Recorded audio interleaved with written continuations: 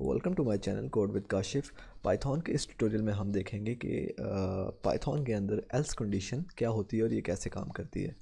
तो last tutorial में हमने एल्स इफ़ और इफ़ कंडीशन को देखा था तो इस कंडीशन में, इस ट्यूटोरियल में हम एल्स कंडीशन को देखेंगे।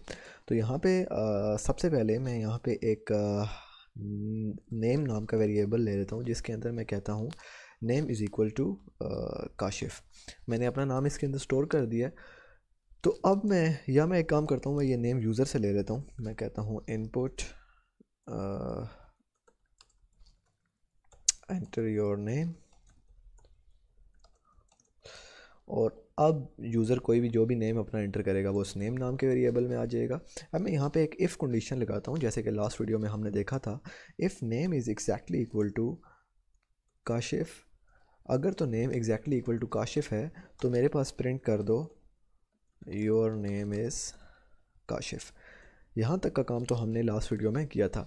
लेकिन अगर मेरा नाम काशिफ के अलावा कुछ भी है, कोई और नाम यूज़र एंटर करता है अली एंटर करता है, अहमद एंटर करता है, कुछ भी एंटर करता है तो ए बी सी जो कुछ भी एंटर करता है नेम के अंदर तो तो क्या होना चाहिए? तो मैं उसके लिए वो काम करने के लिए मैं एक कंडीशन लगाऊँगा एल्स एल्स लिखूँगा और एल्स के अंदर मैं जो भी काम करूँगा प्रिंट करूँगा for example your name is और यहाँ पे प्लस नेम अब हुआ, होगा क्या बेसिकली मैं एक बार आपको इसको रन करके दिखा देता हूँ, उसके बाद मैं समझाता हूँ. पाइथन और file one dot P Y अब मैं यहाँ पे अपना नेम काशिफ एंटर करता हूँ.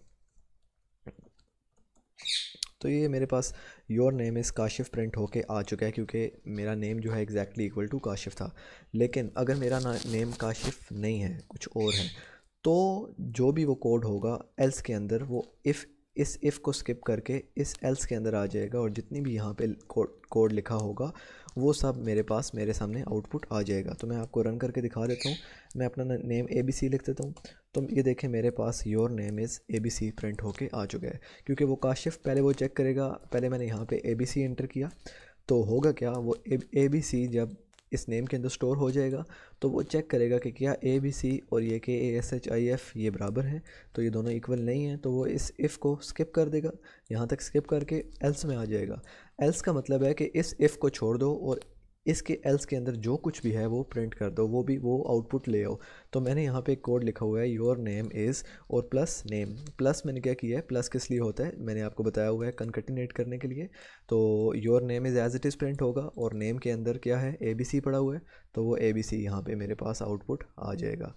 तो आई होप कि आपको ये एल्स कंडीशन समझ आ चुकी होगी। ये हमने स्ट्रिंग में किया है, इसी तरह आप इसको इंटीजर में भी कर सकते हैं।